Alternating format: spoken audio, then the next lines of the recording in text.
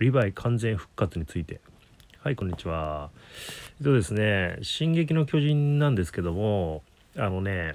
私ね前の動画でリヴァイ兵長リヴァイ兵長は完全復活するっていうふうに予測したんですよ。うん、でリヴァイ兵長ってあのちょっとあのジークと戦って爆発で吹っ飛ばされて今もう重傷負ってるんですよね。うん、だけどあのアッカーマンの力巨人科学の副産物のですねアッカーマン。アッカーマンの力によって私完全回復活するって予測してたんですよ。うん、以前の動画でね言ったんですけど、うん、で具体的には多分マーレと今ねマーレ側のと今手を組んだじゃないです手を組んでる状態じゃないですか。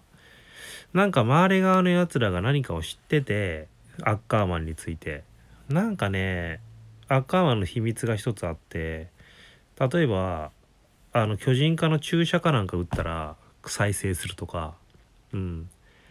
あのボロボロのままねリヴァイ兵長俺終わんないんじゃないかなと読んでるんですよね。うん。回復しだから傷とかも治ってあのー、元通りになってっていう風に予想したんですよ。うん、まああのねヒーローがあのままで終わるっていうのはちょっと悲しいじゃないですか。悲しいしあのー、あれじゃあさジークを多分最後結局倒すと思うんですよ。あのエルヴィンとの約束を果たして。だけどあれじゃあちょっと約束果たせないですよね。うん。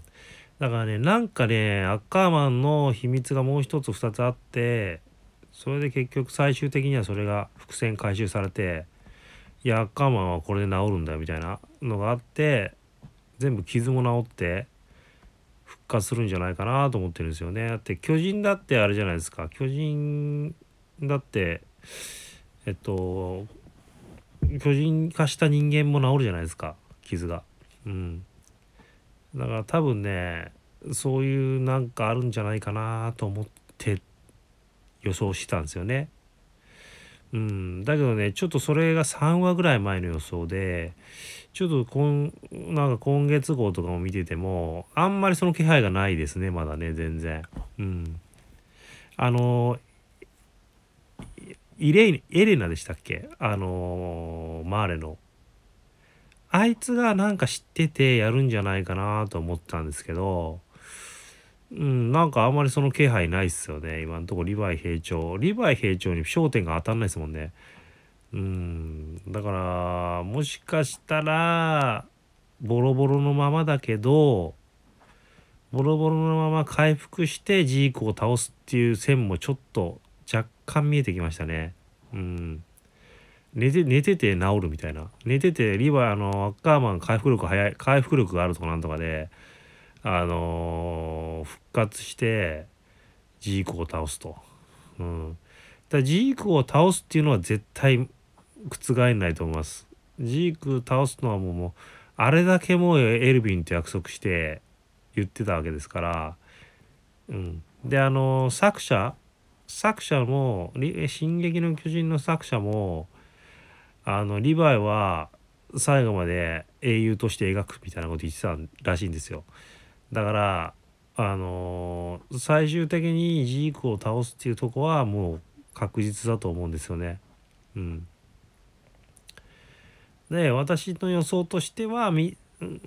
多分傷間とかああいうのも完全回復するんじゃないかなとは思ってるんですよねアッカーマンの力で。うん。ただね回をそれ3回目ぐらいに各の予想で回を追うごとにもしかしたらこれもうボロボロのままで倒すんじゃないかなって思って初めて来てもいますね。うん。なんか寝てて寝てればなんか治って動けるようになって最終的には一応手足もあるんでで指が吹っ飛んじゃってるんですよね今ねあと目が片目が見えないのかでもまあ倒す戦えなくはないですよね治ればだからもしかしたらもうそのままボロボロのまま終わっていくのかなっていうちょっとねリヴァイファンとしては悲しいですけどあのー、あれですねどうもちらほらと見始めましたね。うん、でもねまだねやっぱなんかあると思います絶対、うん、リバアッカーマンの謎がまだ完全に解明されてないんで謎だらけじゃないですか。で巨人科学の副産物の意味もまだ分かってないし。だからあのーまだ絶対なんかあると思うんですよね。だ一応まだね一応完 DY 兵長完全回復完全復活してジーコを倒すっていう予想でいきたいと思います。そういう分析でいきたいと思いますね。私は。うん。はいじゃあね今日はまたリヴァイ兵長完全復活について分析してみました。何かねありましたらコメントしてください。できるだけ返すようにします。でまあチャンネル登録いれもお願いします。ありがとうございました。